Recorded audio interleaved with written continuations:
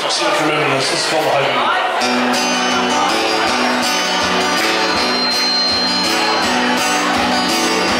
I was a